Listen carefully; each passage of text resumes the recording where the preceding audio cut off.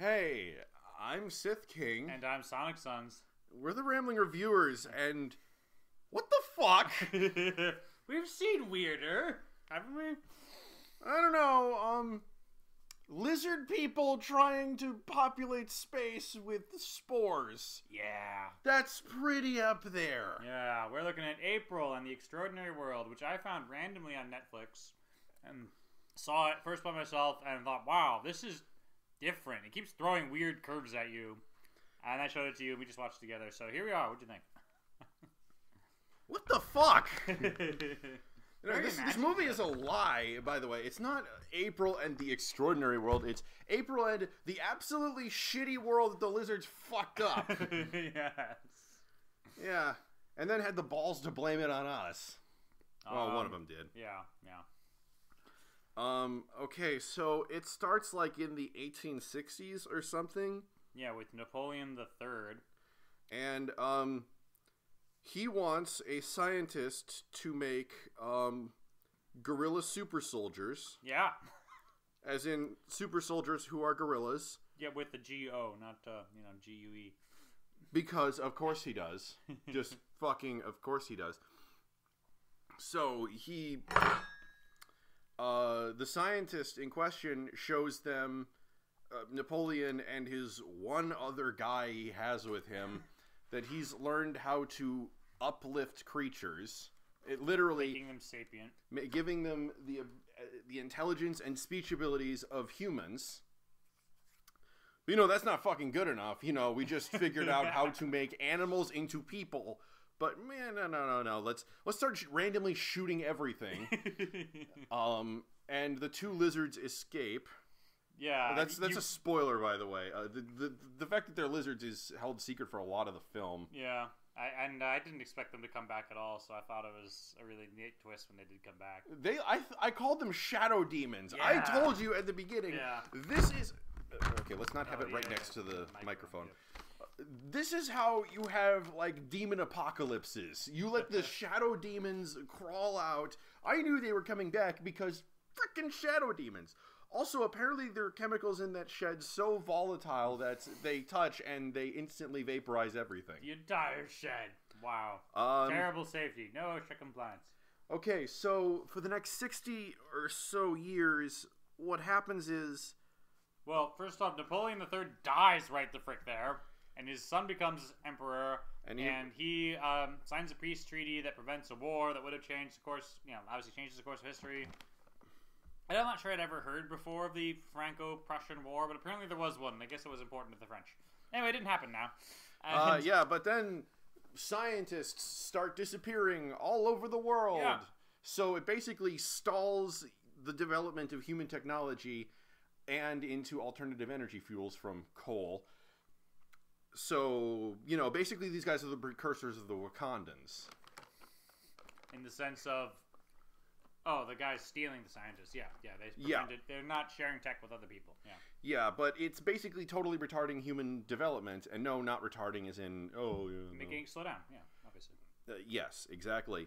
So humanity is kind of steam diesel punk tech, Yeah. but Europe runs out of coal, so they start burning trees. Then they cut down all the trees to fuel their machines and start looking at America, which still has trees. Yeah. And And apparently they fight wars about this for like 10 years or something. That's kind of in and the background. but here's the thing. That's as far as that plot point goes. Yeah.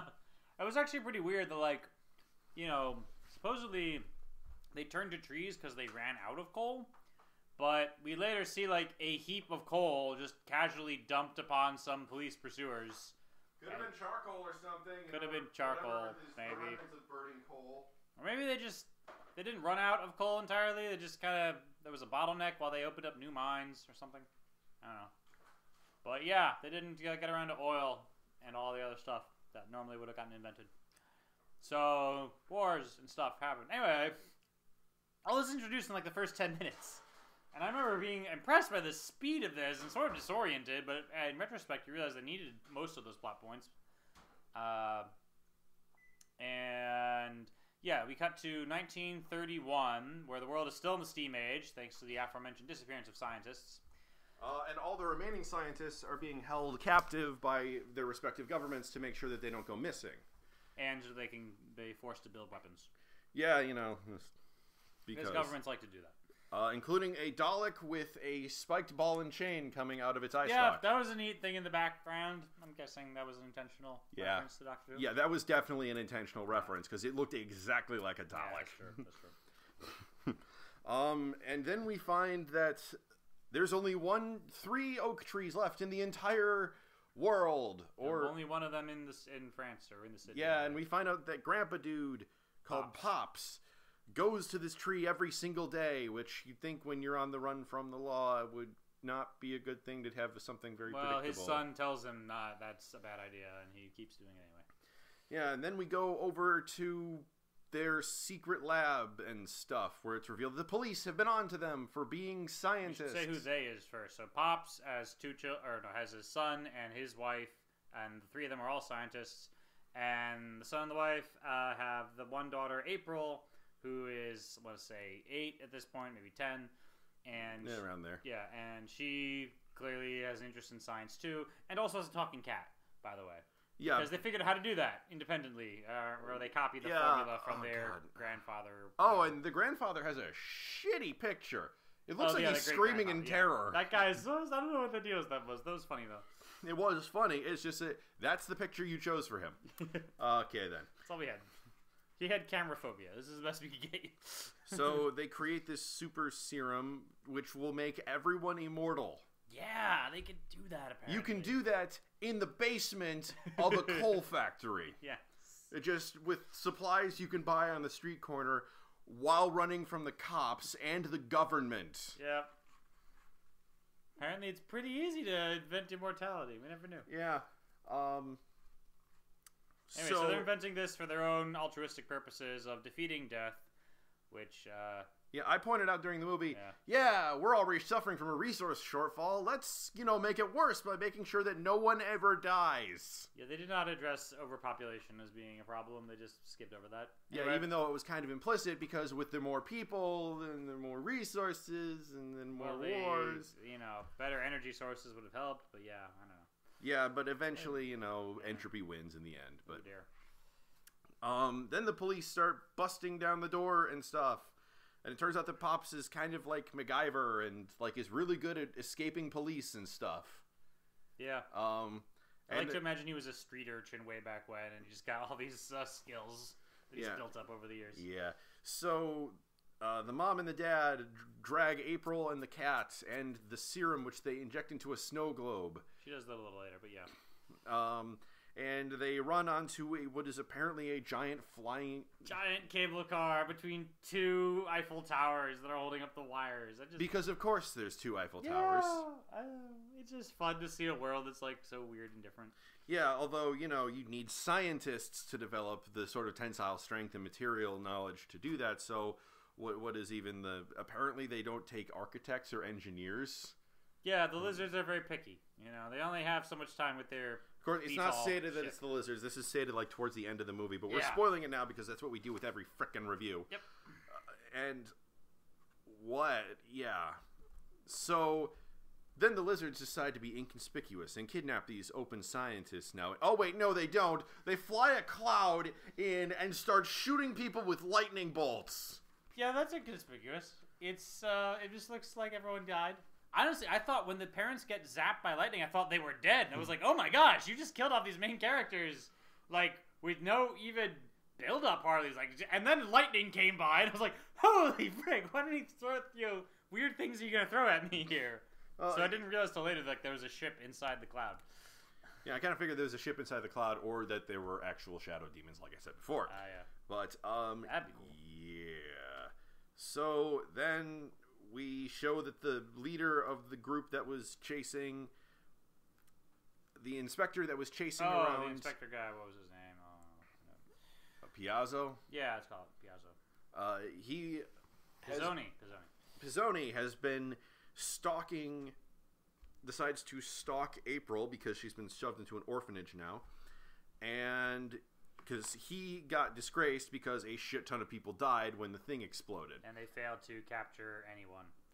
Yeah, but since the daughter was innocent, she was just shoved in an orphanage. Okay. So he's been stalking her for the last 10 years because, I mean, there's a 10 year time skip where Yeah. she grows It's up. And, 1941 now. She's like 18 or 20. yeah, he, so Piazzo's been uh, stalking April because he figures she'll lead him to the grandpa so he'll get his job back. Yeah, and more precisely, he's been paying someone else to stalk her, and the latest person stalker he's paid um, is Julius. I keep wanting to say Caesar. Yeah. Nope, not quite. So, uh, yeah, April is a petty thief, um, but she's also a scientist in secret and lives inside of the equivalent of the Statue of Liberty, but I guess it's the Statue of Conquering. Yeah, by the way, we see what the Statue of Liberty actually is in this universe, and it's a cowboy holding a gun in the air. Yeah. It's amazing. Fun. Uh, I mean, I'm not saying let's glorify guns, especially since that's a bit of a hot topic issue here in uh, March of 2018.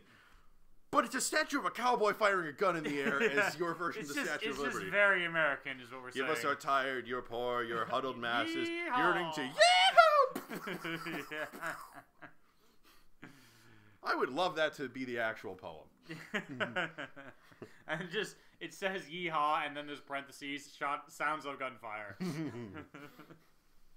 Okay, so and we see they're being watched, and even though they said electricity has never been invented, there's like rats and other things. Pigeons, they're like roboticized. Yeah, And they're transmitting messages back to the what will be revealed later is the lizard people. yeah, Yeah. yeah. That's fun. Um, and it's revealed that she's working on creating an ultimate serum to help cure uh, Darwin. Darwin, Who is the cat. super old at this point. Yeah, because he's a cat. yeah. Moving right along there. Um, She needs more uh, materials for the serum. so she goes to a science fair. I mean, uh, a fair Like a and, World's Fair type thing with science. and sees a magician guy who's doing science experiments in the open because magic. Yeah, that's that's about as good of an She's explanation. just demonstrating stuff and maybe putting a magic flair on. Anyway, she steals some stuff from him and almost gets caught, but Julius helps her out. And in the meantime, oh, and Julius is helping her out not because he's nice necessarily. He's also been ordered make sure she doesn't get taken in by the police because if she was, then she couldn't go and talk to her grandpa. and also because if he she can't talk to her grandpa, then Piazzo can't bring in the grandpa and Yeah. get his job back. Yeah, yeah, Pizzoni. Pizzoni, whatever. Uh, look, Chef Boyardee is really upset that apparently Julius shows up and says, "Yep, nothing's changed." So he goes, "I'm going to reiterate the orders I gave you, and are the whole reason you're meeting with me because exposition." Yeah, yeah, a little bit of that. Um, let's see. So April recreates the serum, and she she fails apparently, Mhm. and smashes the globe, and some of the fluid leaks out.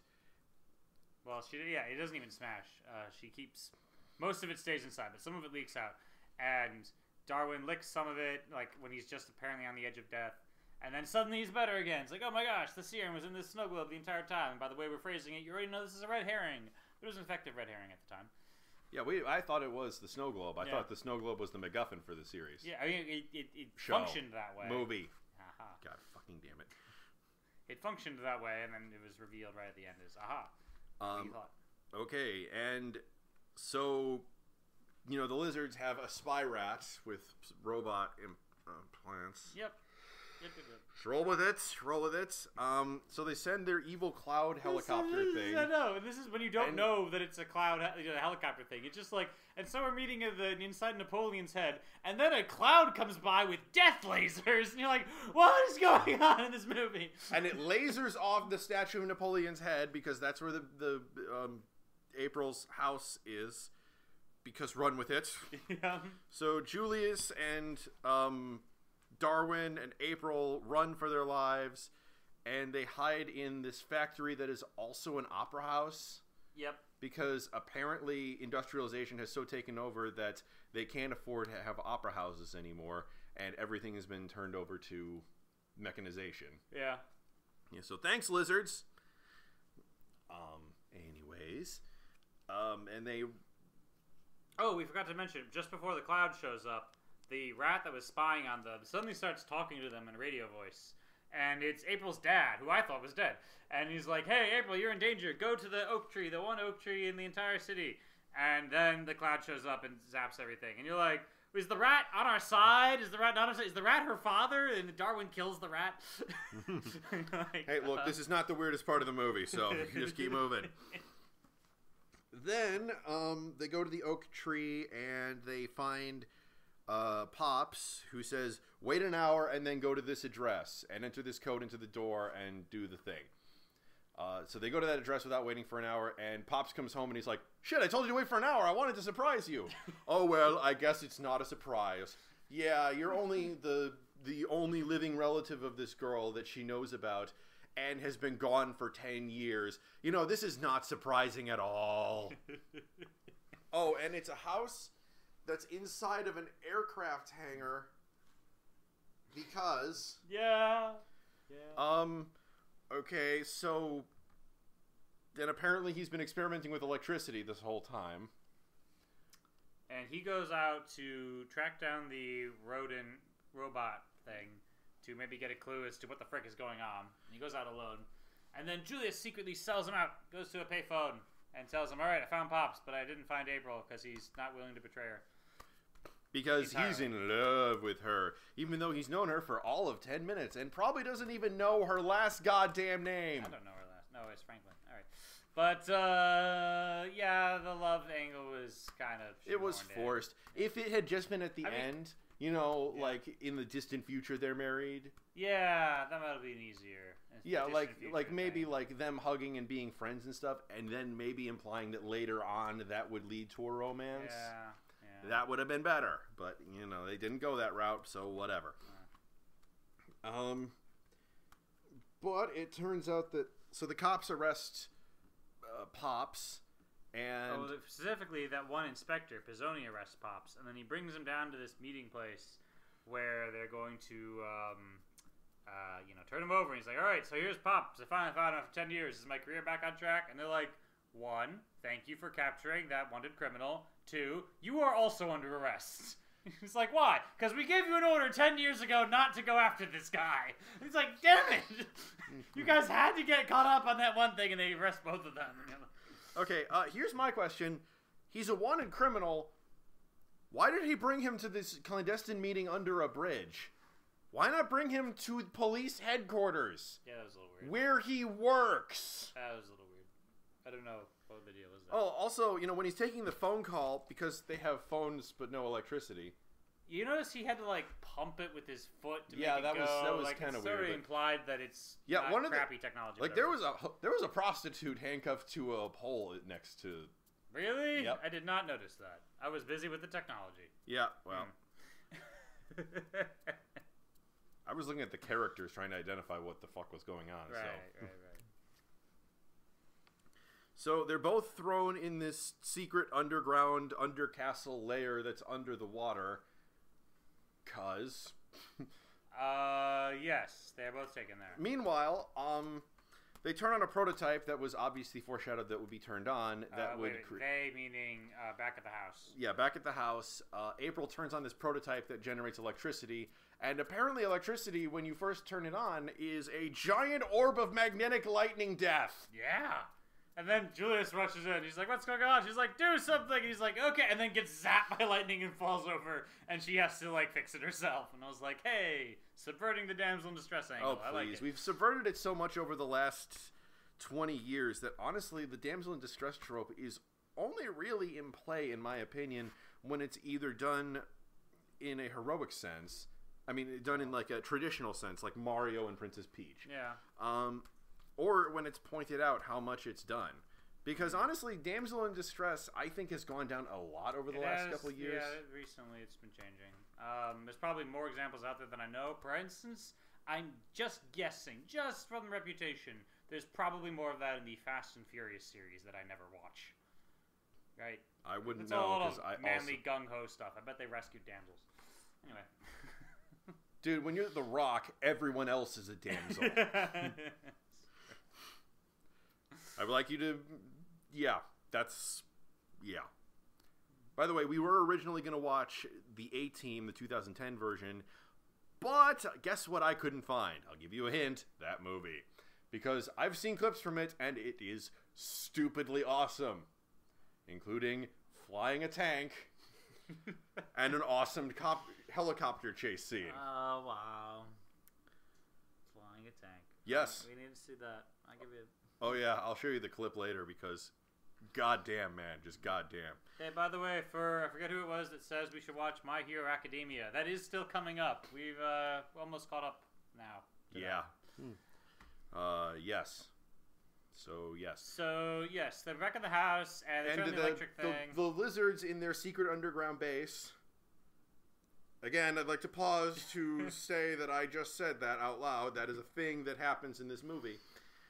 The lizards detect that, oh, there's electromagnetic energy being produced. Someone's discovering electricity. Get them. yeah. So they do.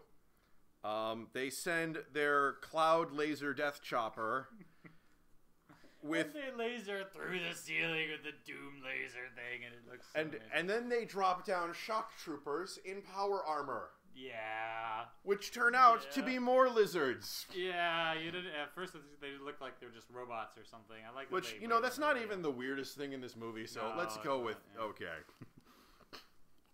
Uh, anyways, Uh, so while they're being surrounded by shock troopers, they activate the. Oh, because by the way, Darwin was spot. You know, went and found out that Pops had been uh, in prison and where he was going, and then Darwin comes back to the house and then they attack, and then they hit the button to up armor the whole house. and then it grows legs It and legs. runs into the into the river where it swims away. Yeah. Okay, at there, there's a certain point at which you have too much free time on your hands. yeah, I know. You have reached it, pops. Just imagine what you could accomplish I- if he wasn't busy visiting a tree every day. Yeah, but you know, no electricity, so God forbid. Here's my thing about Pops. Yeah. He's an omnidisciplinary scientist. absolutely. I mean, that is just uh, that's a trope that I don't really like. Yeah, I. I mean, it, okay, I if mean- if you're Doctor Doom, sure. If you're Reed Richards and you're verified to be the smartest human being in the entire universe, fine. But this guy just learns new scientific disciplines and goes, "Oh, let's see, what's this technology? Oh yes, I know how to pilot this hovercraft." yeah. Oh, it runs on electricity, of course. Even though I didn't even turn on the electric prototype thingy. I mean, at least he had one, so he knows what electricity is. Yeah, but then he's like, "Oh yes, of course it runs through this, and it's magnetic." And he's describing all these things, and it's like, so you just you're you do have a superpower. You have access to the script. Yeah, um, but we're not there quite there yet. So the well, okay, yeah. So he he's taken prisoner at this one fort, secret underground, somewhat underground fort thing, and um, he yeah, they're they're working on new weapons and stuff, and they recovered one of the uh, lizard chopper things that had crashed into an ocean a while ago. to say that is a real thing. This is a real thing. Calls Sith King from across the room. And um, so Pops like pretty much immediately figures out how it works, or at least during the time it takes to get from Paris to wherever that one fort is. They showed it briefly on the map. Uh, I'm gonna assume there was a, a few hours, maybe a day. I don't know. Um, to get there, and no one noticed the house because they were underwater the whole time, and the lizards also couldn't find them. I guess. Anyway, um, so uh, the house approaches the fort from underneath the sea and starts digging at it with its house robot spider legs Again, real thing. and like pokes holes in it and the place starts flooding real thing. and Pizzoni uh, escapes his cell and our heroes rush in to find Pops and they're like maybe we can escape with the house and they're like oh the house has been nuked by now or not nuked but bombed depth charged. Um, so it's cool though because we have this this hovercraft VTOL thingy, and Pops already knows how to fly it. And they like shoot the door and they fly on out and they've escaped and they're flying out over the ocean now. And he turns on the automatic pilot, but he can't figure out how to work the guidance system. Which appa- know how to do that? I mean, apparently though, like the automatic pilot has to have a guidance system in order to pilot it all, right? So I guess he could only. It's just the display he couldn't get working. I don't know.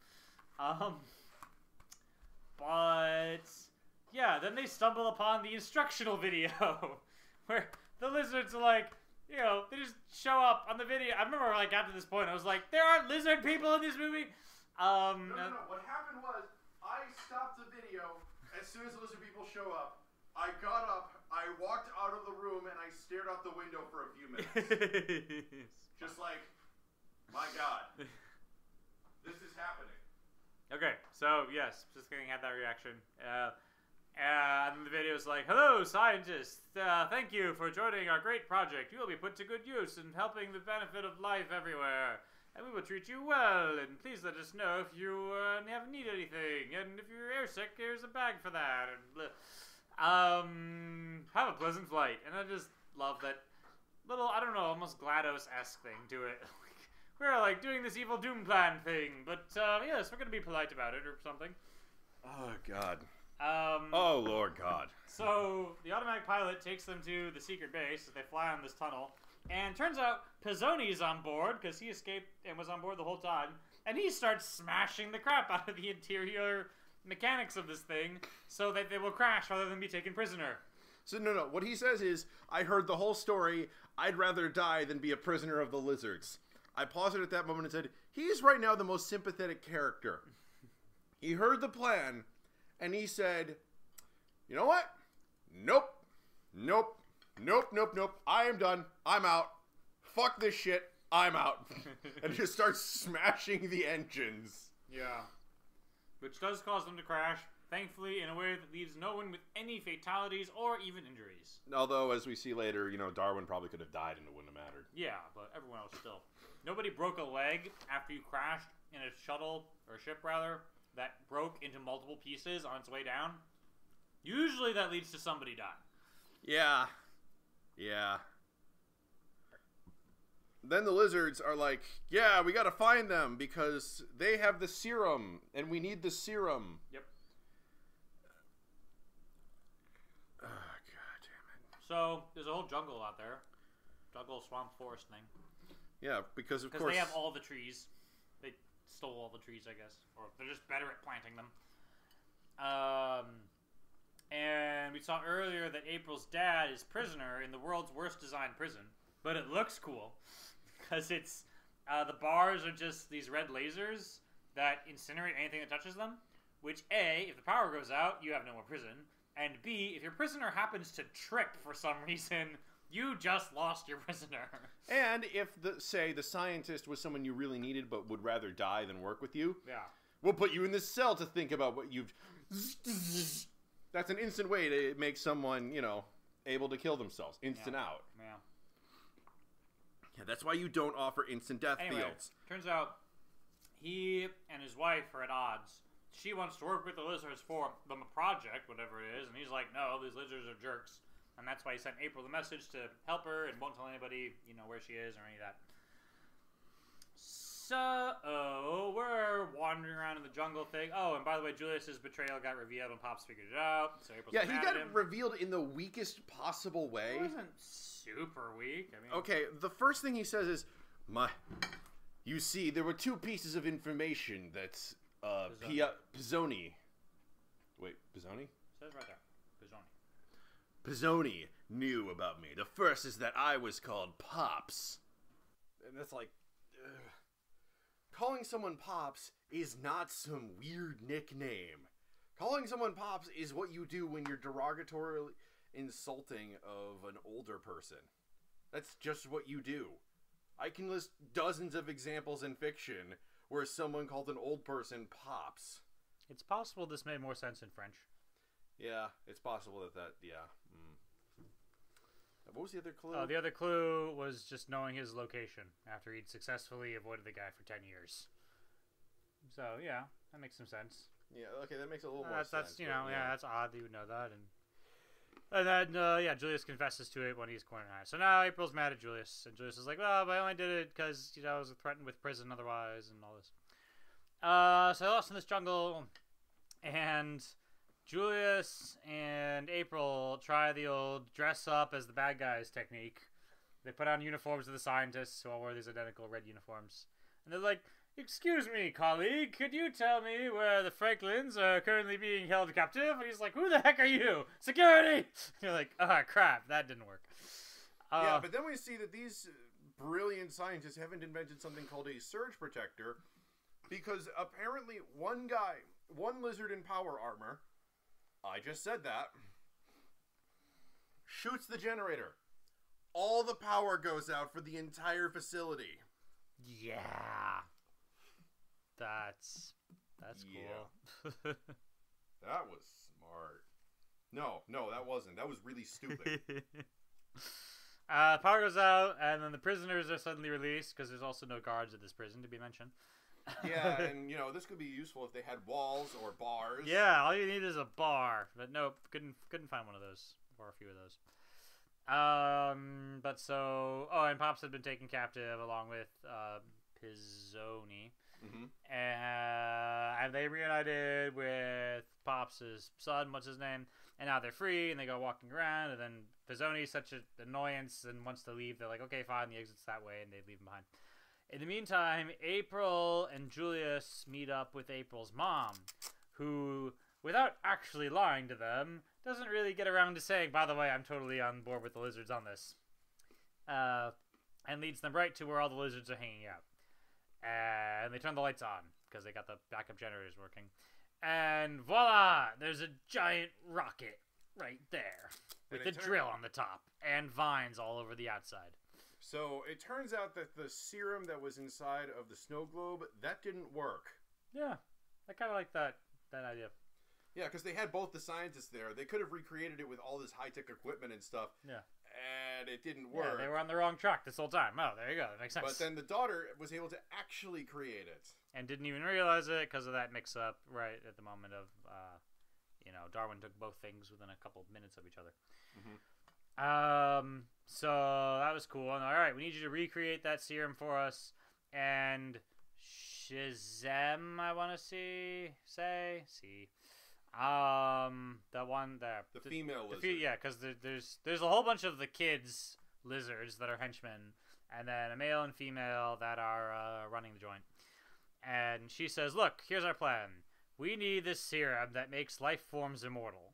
And we're going to make a bunch of uh, spores from this jungle immortal and put them on this rocket ship.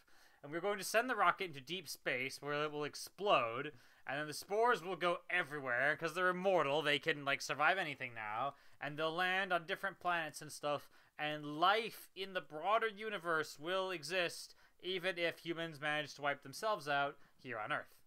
And I was like, that's a surprisingly interesting plan you people have there. Like you're trying to ensure the broader survival of life. Huh, okay, that's more like sympathetic than I was See, thinking of. I immediately started poking holes in it because Yeah. I'm me Yeah. and I can't help myself. So what happened? Here's what I think. First off, so you built a rocket. You need this rocket to be able to go out into space. Okay, fine. We haven't heard anything about rocket, the fathers of modern rocketry, so maybe you took those people. Here's the thing we can barely get shit out of our own solar system now.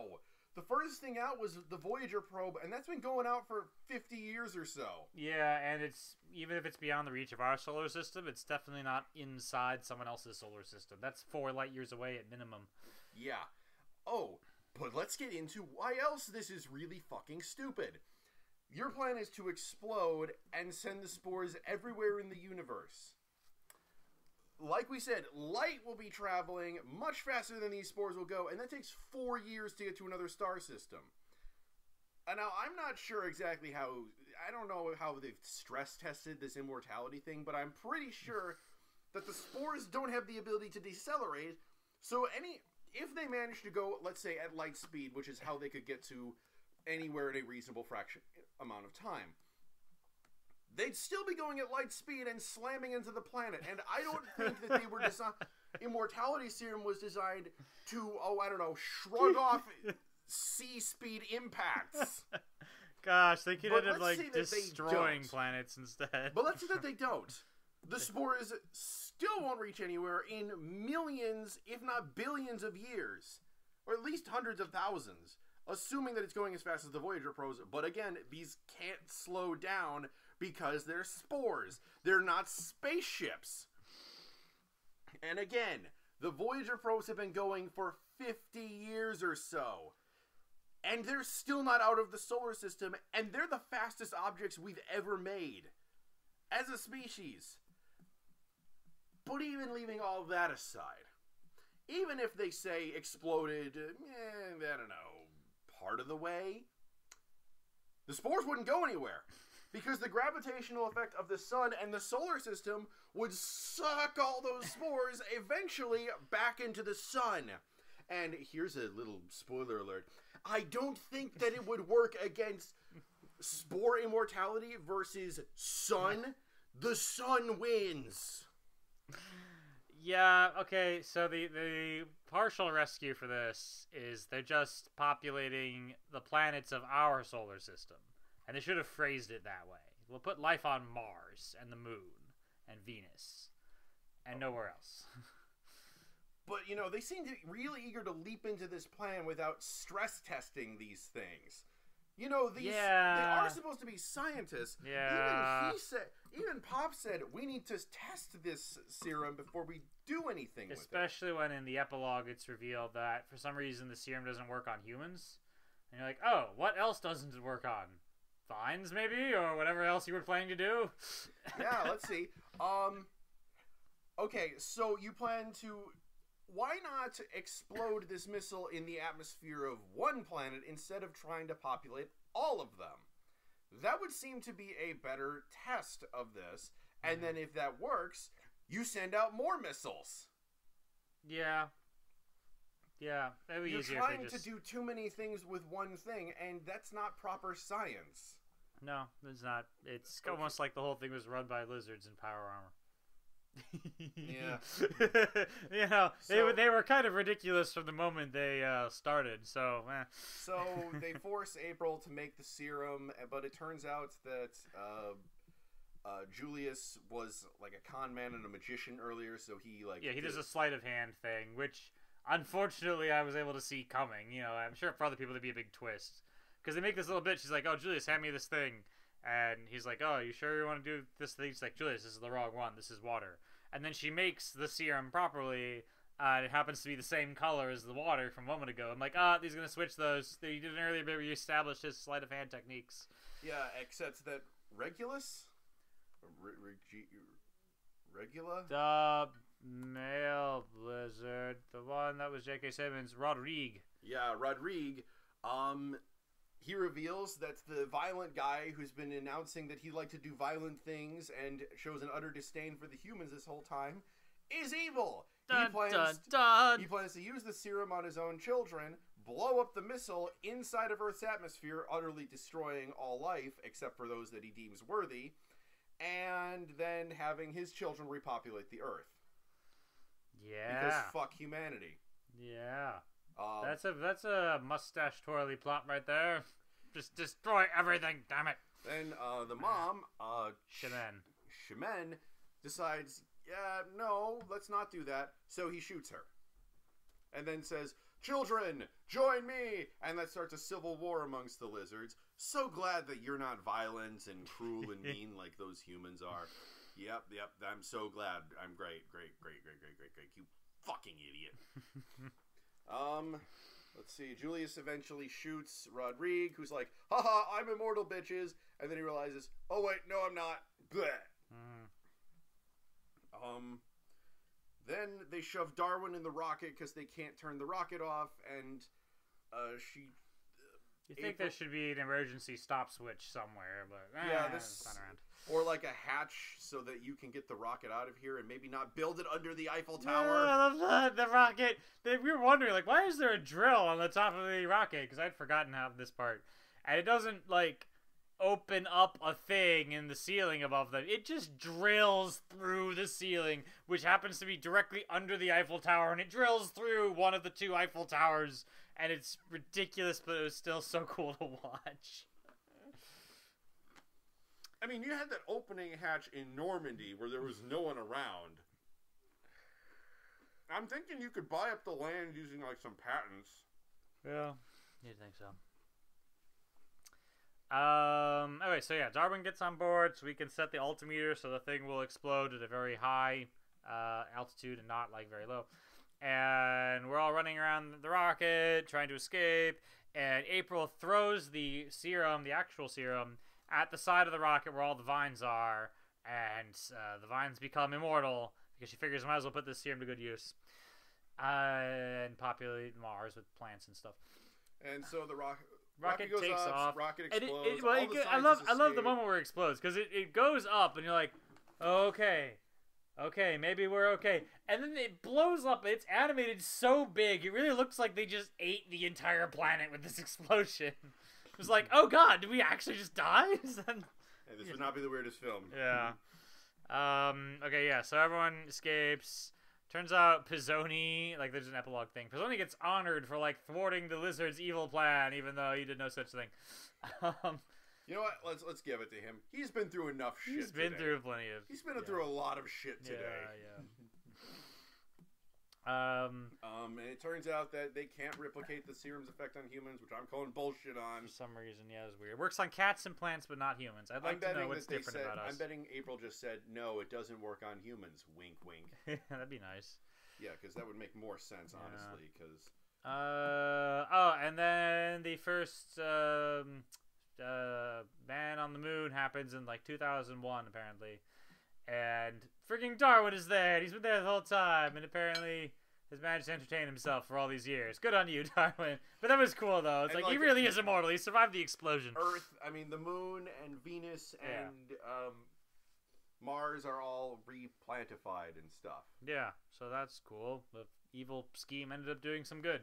Well, also, somehow none of the spores flew backwards in the earthly direction because otherwise we'd have unkillable triffids all over the planet. uh, enough Roundup and that those things will die. yeah, sure. Well, enough Roundup and anything will die. dun dun dun. Yeah. So, my thoughts on this movie are as follows. What is this? I don't even. This movie is fucking weird, but it is enjoyable. yeah. It's uh, it kind of feels like a standard popcorn flick, you know. It, it just had more imagination than the average popcorn flick. In all the the random uh, technologies, the cable cars, the zany, it, it was it was it was bringing back a old genre of some kind. You know what I mean? Uh, this, this Retro futuristic? retro future type of thing. Yeah, uh, and I like that. It stands out from other movies that way. You know, at least uh, recent movies. Yeah. Um, And they kept throwing just weird sort of twists at you, kept you on your yeah, it toes. wasn't it wasn't bad. It, it Yeah. was just weird. Yeah. I mean, I, I liked it. I might watch it again at some point in the future, but you know what? It's for what it is. It's good. Yeah, I understand. Although Um, I'm confused as to how the spores would survive on Venus because, you know, the air pressure there is like having the Empire State Building on top of you while being 900 degrees centigrade. They can't land stuff on Venus because it keeps melting. Yeah, it's true. That's that's hotter than the melting point of lead there. Jesus Christ, people! And these things survive there. Yeah. Also, where did the atmosphere on the moon come from? He said, "Oh, the atmosphere is breathable." Hmm.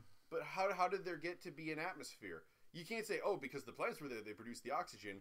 Where did they get the water from? Where did they get the carbon dioxide yeah, from? yeah. Well, if we It, to, like it adheres just close enough to actual science to piss you off when it doesn't adhere to That's science. That's true. that's true. Like the cable car stuff is like, all right, I know what that is basically, and I mean, talking animals is weird, but like, okay, you can handle that. Uh, power armor is feasible, and then this serum is just freaking magic if you think about it. But yeah, rejiggering the plot so that the serum is not magic would be kind of hard. Yeah, because that's kind of the driving thrust of the plot. Yeah, it is. It is. In theory, you could have done more to get into um, some of the details, some of the characters' motivations. I'm thinking of the villains mainly.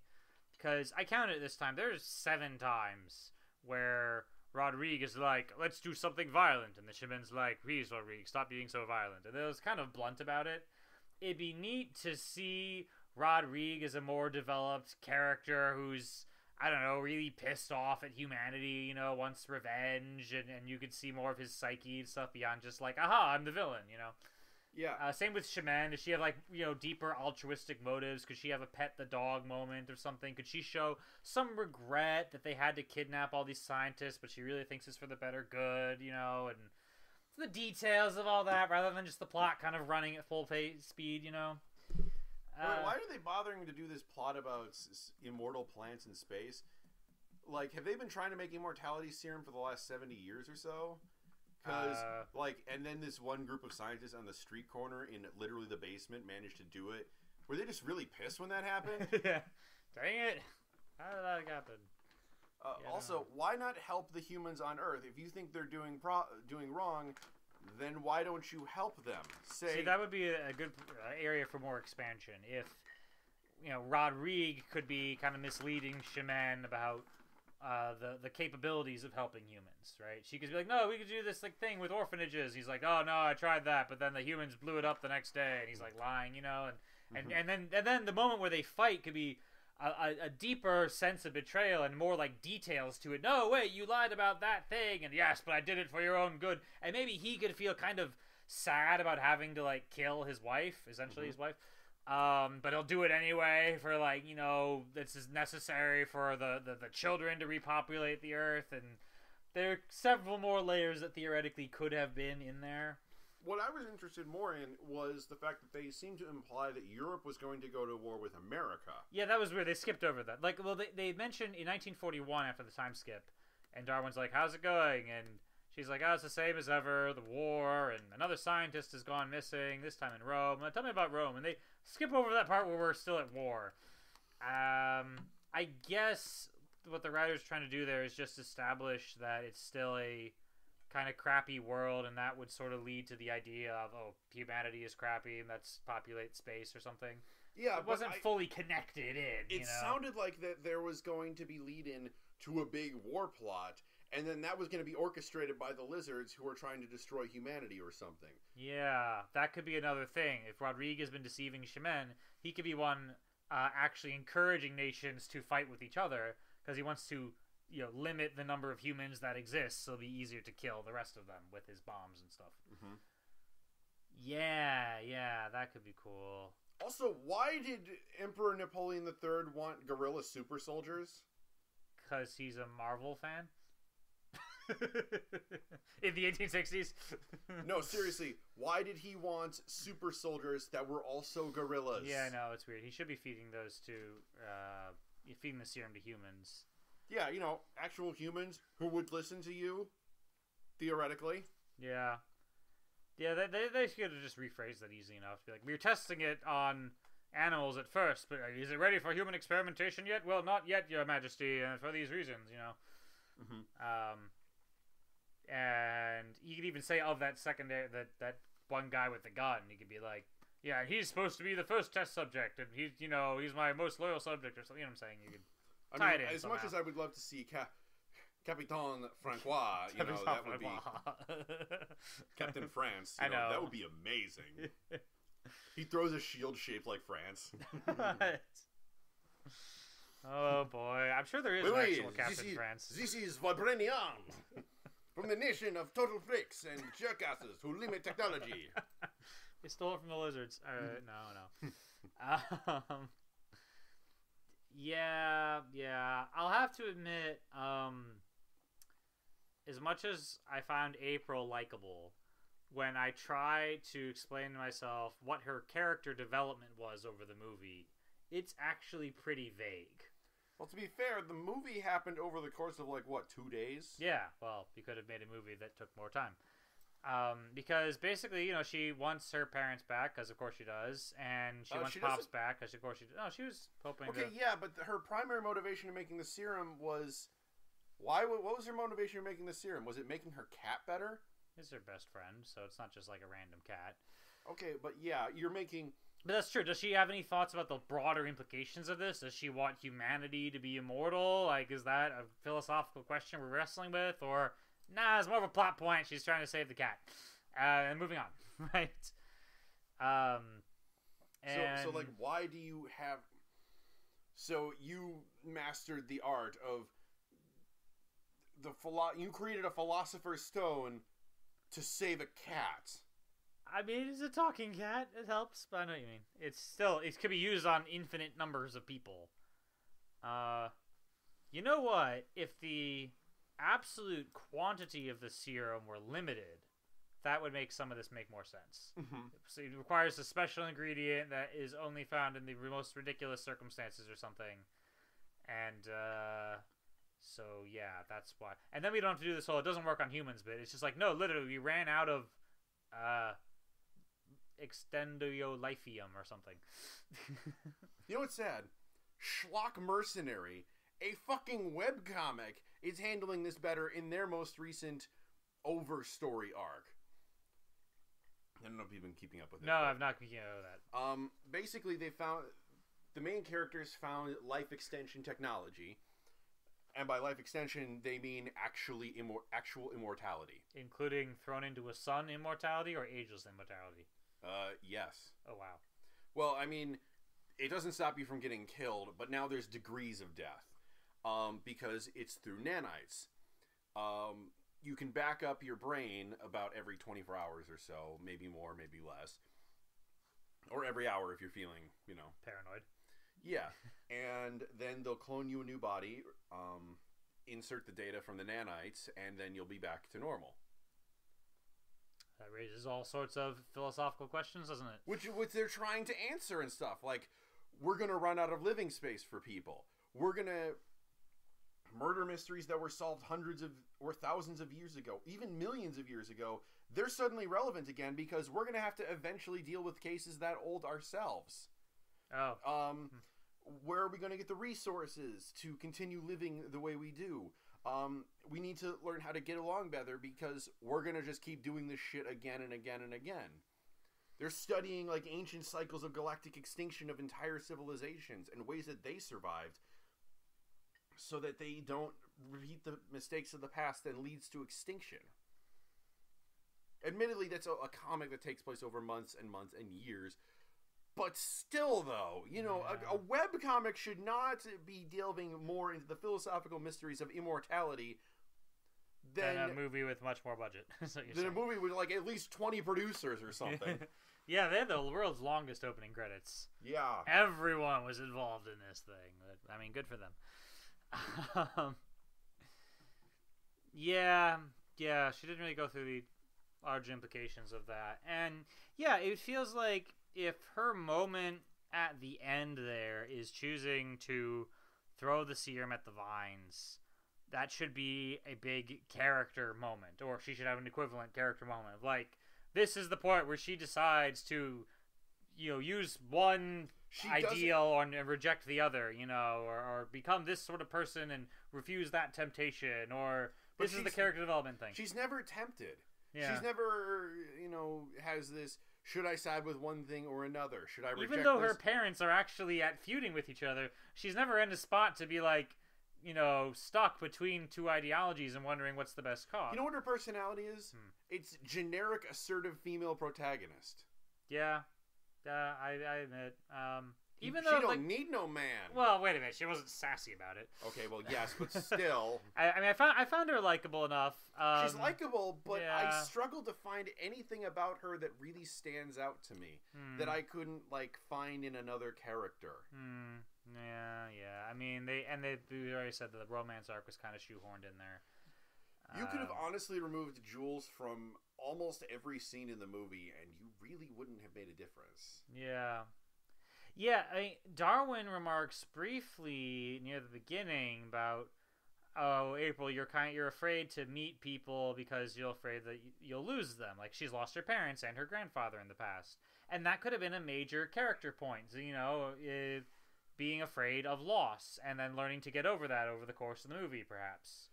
Yeah, but we don't see that. No, in yeah, we don't we don't see that, but I'm just saying that's like a possible thing you could have done, uh, especially if you're doing a plot that revolves around an immortality serum. You could easily connect that to a fear of loss somehow, right? Yeah, I mean, hell, Mass Effect explored that better with the Asari. They're not even immortal; they just live for a thousand years. But they know that almost every single partner that they'll ever take will not be over a thousand years old. Live to be over a thousand years old. There's actually an Asari you can talk to on one of the planet, This is like one of my favorite quests in Mass Effect 2. Here's what happens. You see an Asari standing at a booth, and you can talk to her and stuff to buy stuff. Um, there is a Krogan, aka the Orcs of Space, except way more awesome because they're like a T Rex mixed with an Orc, and then give them shotguns and possibly psychic powers. Because yes. And he's like standing like uh, about 20 feet away, screaming at her all this poetry he's written all about her because he is in love with her, but she doesn't know how to commit. And part of the reason she doesn't know how to commit is she says, and this is just in a very matter of fact way, it's not like an Asari or a Salarian where they'll be gone. I mean, it's not like a Turian or a Salarian or a human where they'll be gone in a few decades. If I marry him, we'll be together forever. And that's actually, I mean, she's really insensitive when she says Yeah. it because she's talking to a human. Yeah. Um, but that is the Asari mindset. That is something they have to consider when they think about their partners. This person, I'm going to have to treasure for a long, for as much as I can while we're together. On the just 20 feet away from those guys, you can see an Asari talking to her adoptive father because she never knew her original father, but like her mother got together with this with this Salarian, sorry, and they only live for like 50 years, and he's approaching the end of his lifespan, and they both know that he's not going to be around much longer. So he's trying to get her something so that she remembers him, the daughter, who's not even his real kid, just his foster, uh, uh, stepdaughter. Yeah. remembers him when he's gone. Yeah. Awesome. That that that is incredible amount of thought put into this world of immortality and how you need other people and the implications of loss versus long life. Yeah. You know what you could do, and this would be kind of simple, but just the first thing that came to my mind. If you're doing the uh, dealing with the possibility of loss, the inevitability of loss, and so forth, and, and, and having to face that emotionally, you could have an immortality serum that makes you immortal, but like also tends to turn you crazy and evil, right? And there's like a whole deal with the devil thing in there, Mhm. and at the end she has to like give up on that, you know, because it's better to live genuinely for a short amount of time than to be corrupted and turn into not someone you're not, you know. Oh, like in Stargate, how they had the sarcophagus. Uh, yeah, but I for, didn't see it most of that, so tell me how that works. Okay, Does uh, it do just what I said? It makes you evil. okay, the sarcophagus is a Goa'uld device. The Goa'uld are cranial parasites that pretend to be gods. One of the ways they do this is through the sarcophagus. It resembles, well, a sarcophagus Naturally, because the Goa'uld were the inspiration for all the ancient Egyptian myths and a bunch of other myths. Or they co opted them and chose to be like them. It- it's confusing. it's not exactly clear in some cases. Anyways, the sarcophagus is capable of bringing you back from the dead if you're recently dead. So, like, I Oh, can't it's go dig up Lazarus Beetho- pit. Beethoven, but it doesn't drive you crazy immediately. Over a prolonged period of time, it is addictive and it drives you crazy. Okay. That's why the Goa'uld are so insane in the modern era. Why they're all worship me, for I am your god, mortals. It used to be that they Right, didn't know that they thought, oh yeah, we're totally normal people. We just have advanced technology. Now they actually buy into their hype because the sarcophagus drives them insane Right. as they use it. Kind of like all those Roman empires went insane because it turned out they had lead poisoning the whole time. Yeah, apparently lead is not a good cut material. No, very bad. Yeah, or that Chinese emperor who like they found they dug up and they found oh, he was taking all these immortality serums made of mercury. Uh, yeah, I heard something about that. Yeah, that wasn't smart of him. That was actually very stupid of him. That's why you need to test your immortality serums. We've been telling you this whole time, Chinese Emperor.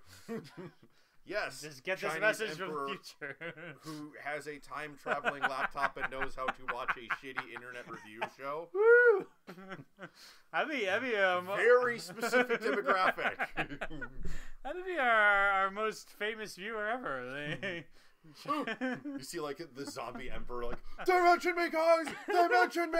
He's like pointing, and the terracotta soldiers are like standing over Uh. his shoulder, not moving because they're terracotta. They mentioned me, guys. They watched me. Woo! oh, history's weird. Yeah. I always wondered what would happen if um, Henry VIII got to come back just to hear that Henry VIII song. I'm Henry the Eighth. I am, and he's like, he'd be like, "This is my legacy." Seriously, you guys. this one guy sings this one stupid song. anyway.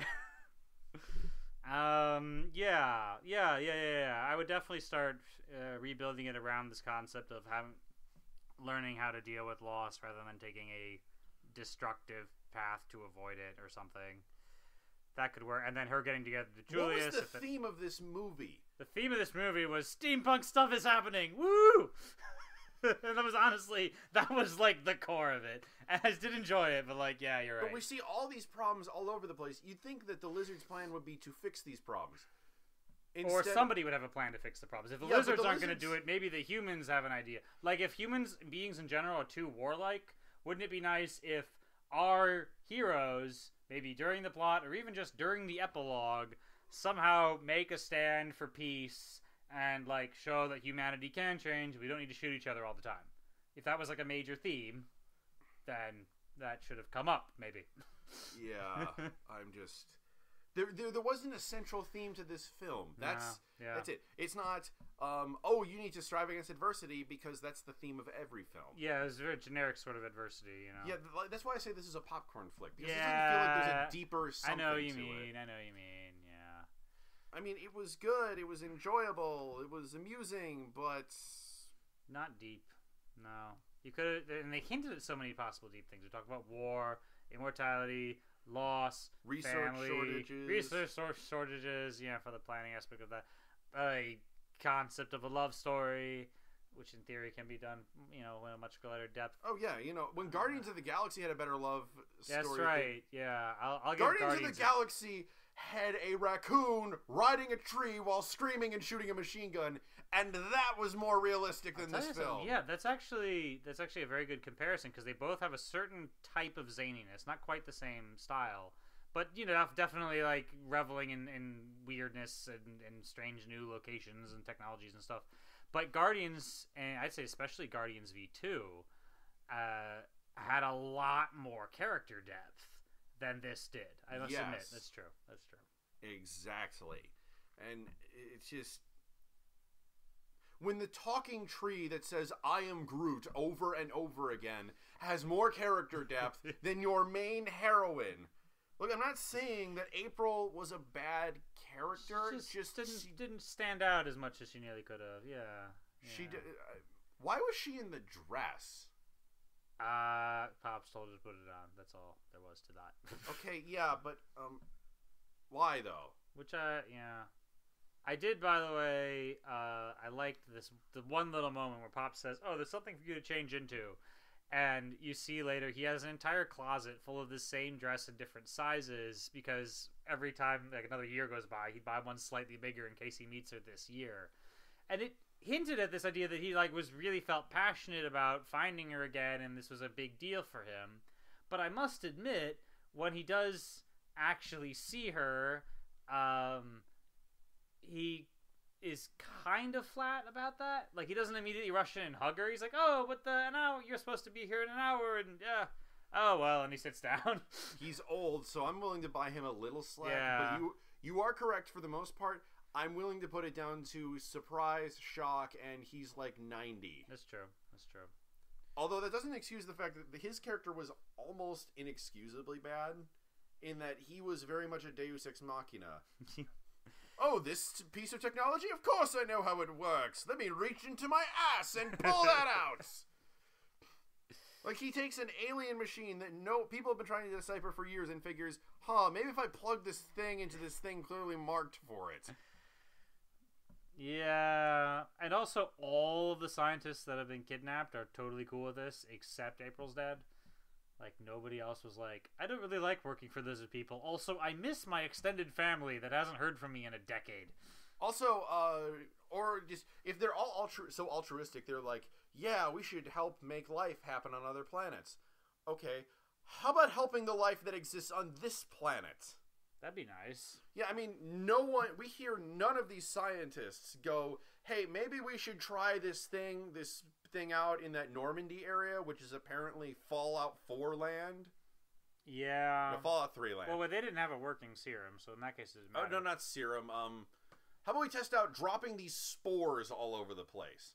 Oh. You know, make some plants grow, no. filter the soot out of the atmosphere. Or how about we just invent oil to prevent the energy wars? Because the epilogue tells us that once oil's invented, like the energy wars cease because there's plentiful energy around.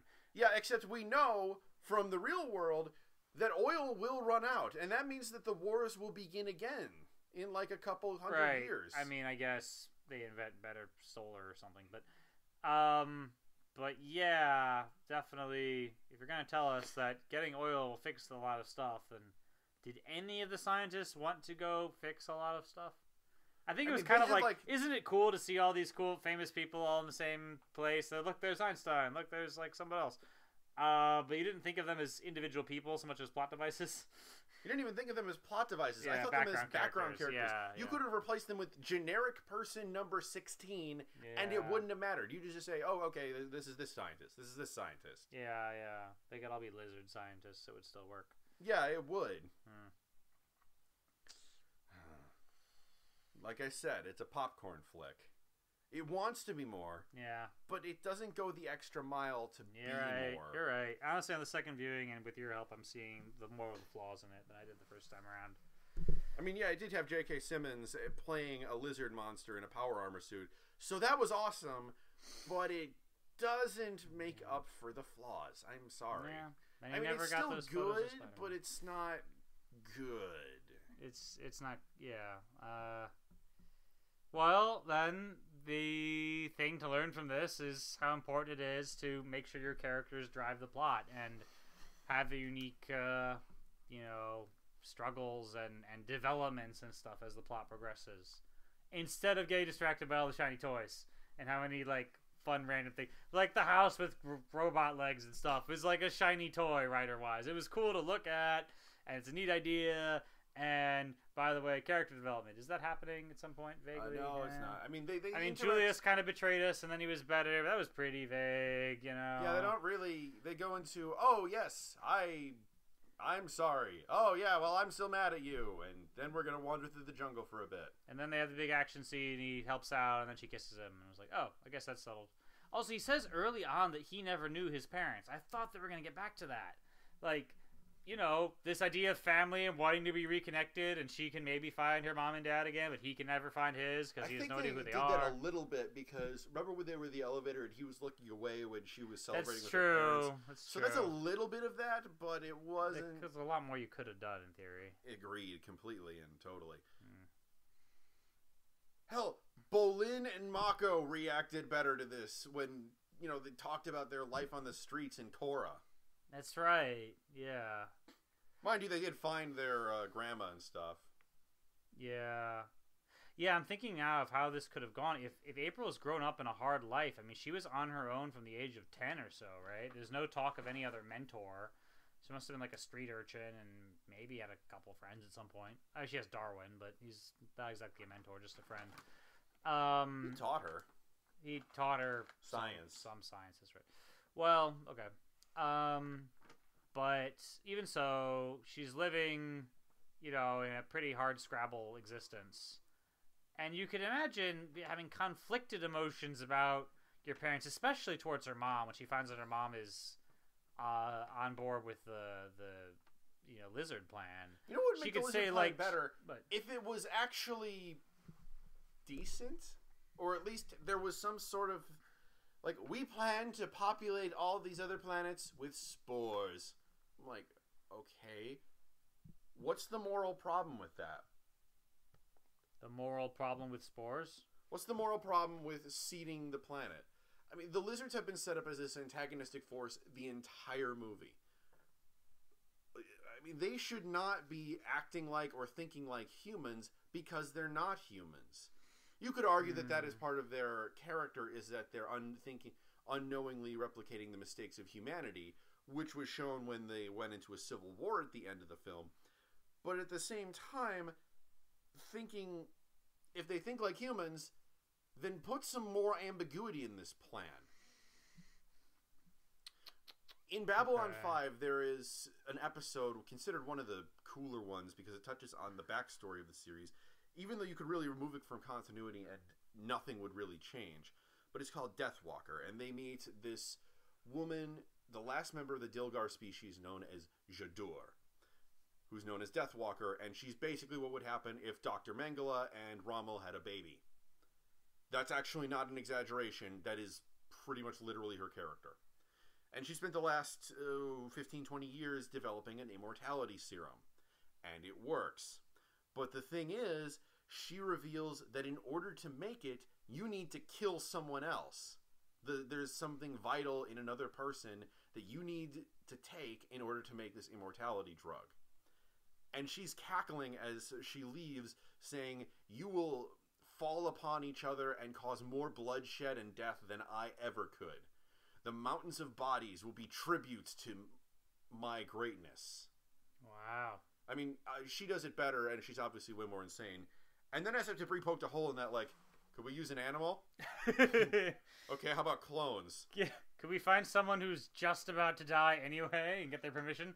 Yeah, see, I personally don't think that works because in Babylon 5, souls are an actual thing that they've proven to exist, thus the existence of the race known as the Soul Hunters. So I'm thinking it might have something to do with that, Okay.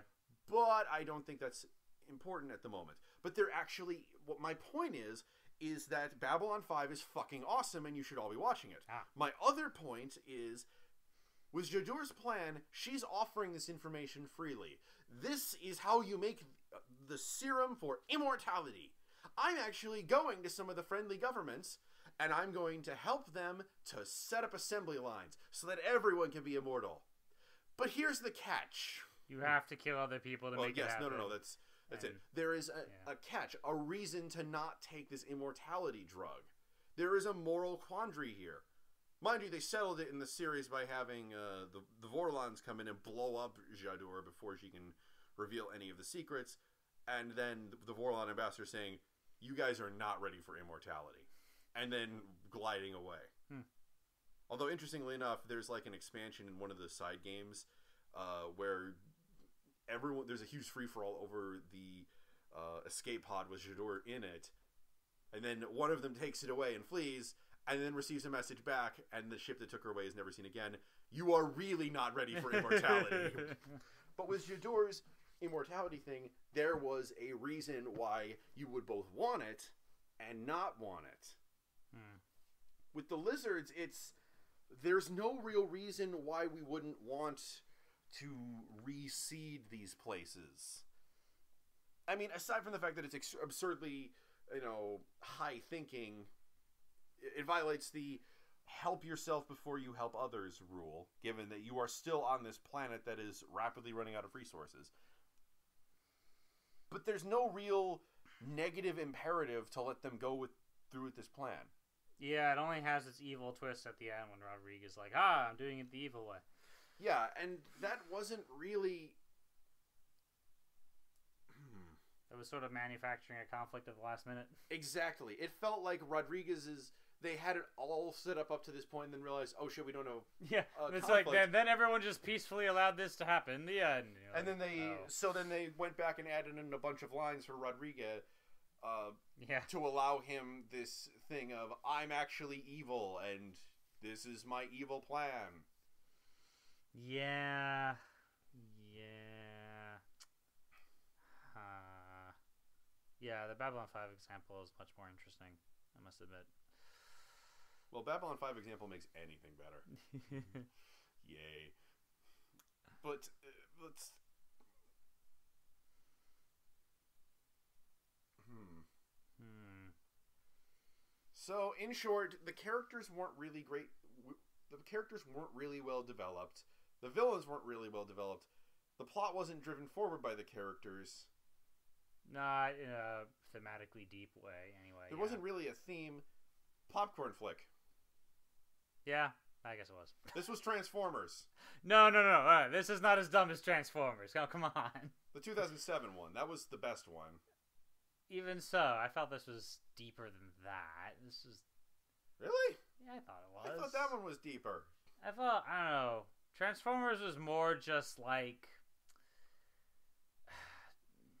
how do I say this? at least here I could go and look at like, whoa, interesting like cable car stuff, and there's like a world built around in the background. Transformers is just like shit is exploding and fighting and just the sheer chaos of combat, nothing else even. The little world building details are more interesting than Transformers. Yeah, okay, I'll give you that. But at the same time, the characters felt like people in Transformers more than Were they, they? did I mean, here. they were- I mean, I'm they not were saying they more didn't feel like people, but I'm saying that the characters, like, you couldn't see them acting. Like with Sam, I could. The last time I saw this was back before 2010. I just saw April's thing, and I couldn't really tell you something unique about April. Sam, I could tell you like at least three or four traits. He's curious, he's flawed, uh, a little on the horny side, but desperate. Yeah, hmm. Well, I mean, April's got a scientific mind and flaw. They touched on this a little. I like the idea that she was a petty thief. I guess they didn't really come back to that and its moral implications and whatever. Uh, yeah, cares about her family, but we didn't get as much of that as there should have been considering the plot. I was gonna say earlier, you could imagine this this tearful confrontation with her mom, like, why did you leave me in the streets for like ten years? And her- Actually, I wouldn't. I wouldn't really have that because we saw why she was left in the streets. Because the fucking thing exploded. well, so she assumed April was dead. Is that the idea we're going with? Oh, oh right. Oh, if okay. No, I see where you're going with this. Yeah, Especially since there's a passage out in the bathroom and they know about it. yeah. Like you go- couldn't walk out and go grab the kid and bring it back down there. Yeah. I mean, I guess they didn't know where she was, but I don't know. That's rather vague. Especially since she's literally upstairs. She's literally upstairs. It's not like they're on the other side of the world. Yeah. Somehow you didn't spot her in ten years, and you've got these lizards. I mean, maybe the rats are a new thing or something. You could have done so much more with this. Yeah, you could have. I bet. So, So Yeah. yes, a tale of how a story can potentially be made better. Think of these things in advance before you make the movie, and then you can fix them in the scripting process. amen, brother. That's what we're for. Uh, yeah. So I think we're done. Yep. Okay. Anyways, I'm Sith King. And I'm Sock Sons. We're signing off.